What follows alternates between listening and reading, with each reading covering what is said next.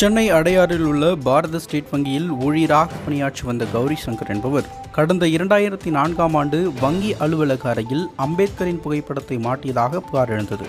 மேலும் அவர் பணி நேரத்தில் அடிக்கடி வெளியில் சென்று வந்தார் என்றும் சங்கத்தினருடன் வந்து அதிகாரிகளை மிரட்டினார் என்றும் வங்கியில் பிரச்சனை செய்தார் என்றும் கௌரி சங்கர் இரண்டாயிரத்தி ஆறாம் ஆண்டு பணி நீக்கம் செய்யப்பட்டார். பணி நீக்கம் செய்யப்பட்ட கௌரி சங்கர் வங்கி நிர்வாகத்தின் உத்தரவை எதிர்த்து வழக்கு தொடர்ந்தார்.